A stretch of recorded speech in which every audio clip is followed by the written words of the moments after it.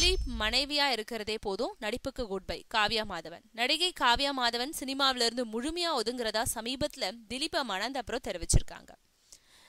திலீப் முதல்ல மஞ்சு வாரியாரை காதலிச்சு திருமணம் செஞ்சாரு. கருத்து வேறுபாடு காரணமா பதினைந்து ஆண்டுகள் கழிச்சு பிரிஞ்சாங்க. அண்மையில ரெண்டு பேரும் விவாகரத்து வாங்கிட்டாங்க.